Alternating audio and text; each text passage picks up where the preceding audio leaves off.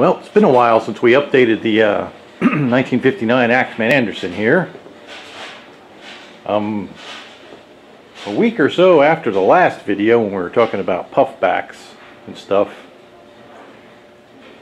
this thing experienced the largest puffback I've ever seen. It, I was walking towards the garage when it happened and I saw out of the corner of my eye, I saw it out of the chimney actually, but it was out of the corner of my eye. I just saw kind of a bright flash in the vicinity of the top of the chimney, and um, you know, I turned and looked, and there was a large plume of fly ash coming out of the chimney, and it was it was really loud, and I checked it out. I didn't see anything wrong. Like, well, it blew the uh, the bottom off of the uh, outside on the other side of the wall there. Blew the, the chimney clean out off.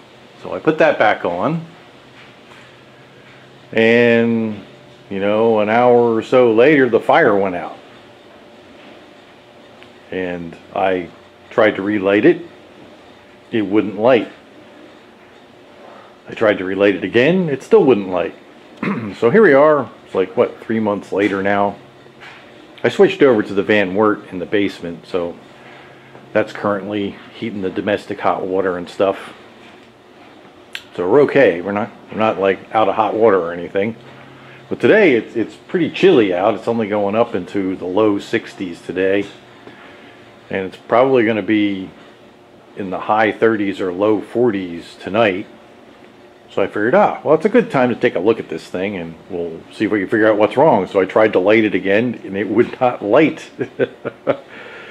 so I decided to pull the fan out in the bearing box and uh, we're gonna, that's the fan plate. That's the old fan. That's the new fan that we had sitting waiting until we took it apart. So we're gonna put the new fan on. We're gonna put a new gasket on the, the fan plate and probably stick it back together and see if it'll light. After we look in here for a while. It's kind of interesting that this has really, since the last time I cleaned it, it has really accumulated a lot of crap. This was basically coating the, uh, the side walls of the swirl chamber here and I was just, you know, knocking it off with this piece of bar stock here. It's, it's kind of difficult to get in there, so just whatever you got that's solid and, you know, a, a brush probably wouldn't, wouldn't do it because stuff stuck on there pretty good. But anyway, we'll, we'll get this finished up and uh, vacuum it out a little bit and um, then we'll stick it back together and see if it'll light. I mean, I don't see anything wrong with this fan. It seems a little bent. I don't know why that would make it not light though. So the plan right now is to change this gasket, clean the swirl chamber out, then put this all back together with the new fan. And then we'll try and light it again. See what happens. Okay, so here we are. We got it all back together. And it still doesn't seem to want to light. Which is really weird. Trying to coax it along here a little better. There's a bunch of charcoal in there. I threw a bunch of pea coal on top of it. It's looking like there's a little progress now. Maybe it'll take off this time. But I did have a couple of stovepipe leaks. Those big puffbacks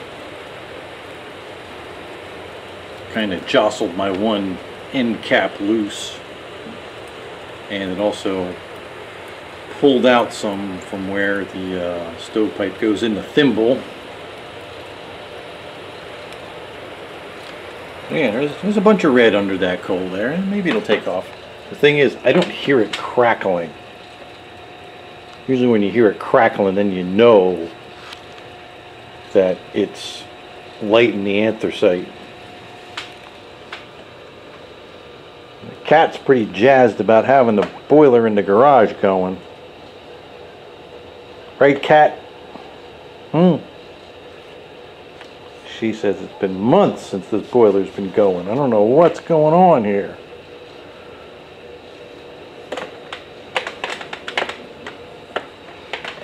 So she'll probably be happy tonight if this thing actually lights.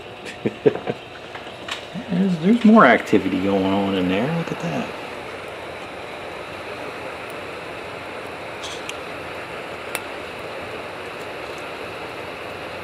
It, it might go. We'll see. Okay. Looks like we were successful. It's lit. That is some lit up anthracite there. Now we just gotta put a load on it for a while. I'm gonna turn on this big giant radiator here. And I mean we don't there's not a lot to heat right now. So I'll just turn on the radiator. It'll probably get really hot in the garage, but at least we'll know this thing works and it's it's ready to go for the next winter. All right. Okay, so it's a few hours later, and it, it hasn't really fully recovered yet, but it's going to. I think part of the problem is this rice coal. It's not really liking it that much. it took quite a long time for for that there race coal to light off. Now we have pea coal in there. I mean, I was hand feeding it some pea coal. And it's got pea coal in the bin, so really the rice coal is just whatever is left over in the doghouse and whatever is left over in the auger right now. But it's running, we're just kind of forcing along heat coal. That big giant radiator there is got its pump on. Plus, it's to be heating the domestic water. There's a uh, domestic water for the indirect water heater call going on right now. So it has to satisfy that, and then we're gonna do some dishes, and we're gonna do some more laundry, and then I'm gonna take a shower. So that should put a, a good long load on it. See, our fan's running pretty quiet.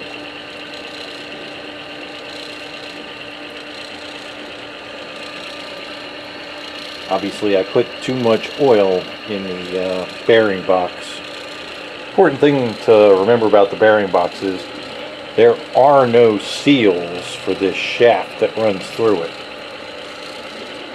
So if you fill the oil level up to that hole, it's going to leak oil out when you start it up. But, I mean, the nice thing about it is it'll just spit the oil out. and eventually it'll reach its level that it wants to be at. Here's our bin situation here. That's the doghouse the auger goes into. And that's the pea coal. There's a ton and a half of pea coal over there. We're not going to run this for a real long time, probably a few days, that's about it because uh, later in the week it'll probably be up to about 80 degrees and we'll just continue running the Van Wert in the basement. But for tonight, tomorrow, and as long as it looks like it's going to be chilly out, we'll run this. it will, uh, it'll heat the garage up pretty good. Cat will be happy. And, uh, we'll get it exercised and get it to a steady state where it'll actually run normally. And th- then we'll know everything's good. I was kind of concerned because, I mean, not being able to get the fire lit's kind of a pretty strange thing to have happen. So, I think what it was was a combination of the, the stove pipe coming half apart and the, uh, I don't know if the fan was a problem or not. Probably not. It should have still ran okay with that fan. But it's got a new fan on it now, new fan plate gasket. And we should be good to go.